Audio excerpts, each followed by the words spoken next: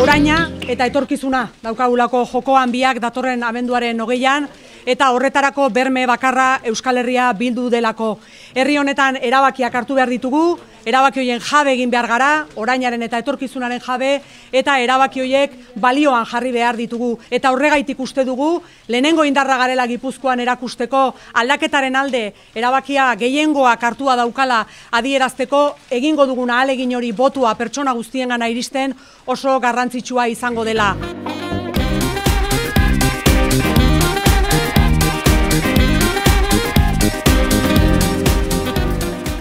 Ezin du boto batek etxean geratu independentziaren alde zenbatuko ez den botu bakoitza gaur egungo egoerarekin jarraitzearen aldeko botoa bilakatuko delako. Eta badakigu ze ondorio lazgarriak dituen gaur egin bizi dugun egoerak.